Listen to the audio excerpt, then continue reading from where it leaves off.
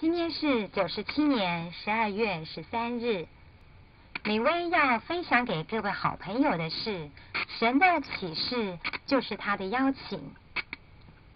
神会因人而异给予不同的启示，而神的旨意呢，在主导文有提到：我们在天上的父，愿人都尊你的名为圣，愿你的国降临。愿你的旨意行在地上，如同行在天上。我们日用饮食，今日赐给我们，免我们的债，如同我们免了别人的债。不叫我们遇见试探，祝我们脱离凶恶。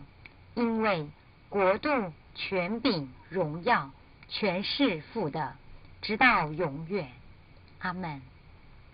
其实主导文里面。说的非常的清楚，神的旨意，也就是让我们这些弟兄姊妹呢，能够呢了解到，原来在天上还有一位亲爱的阿巴父，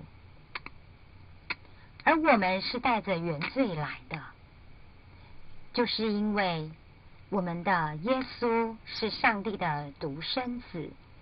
借着耶稣的宝血呢，洗净了我们的罪，才让我们能够跟亲爱的阿巴父相通。而当我们的频道如果转错了，转到了撒旦，我们知道撒旦跟耶稣呢，它是对立、相对不一样的。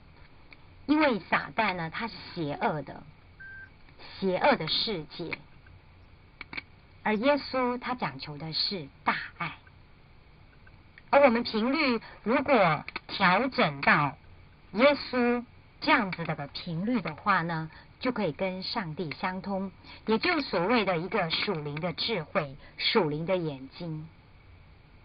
亲爱的弟兄姊妹，我们要学习耶稣的大爱，让更多的这些的四海之内皆兄弟的弟兄姊妹们。能够了解到，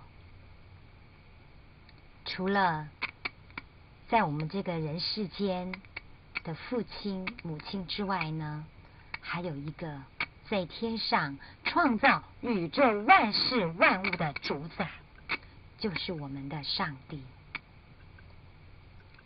亲爱的弟兄姊妹，我们一起来努力，不要忘了。罪呢，就好像一张的纸一样。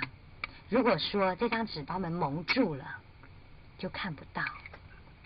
所以呢，我们要将这些的罪，慢慢的一点一点的要悔改，才能够呢频率转到对的。耶稣，上帝，直达。各位好朋友，我们一起努力喽！拜拜。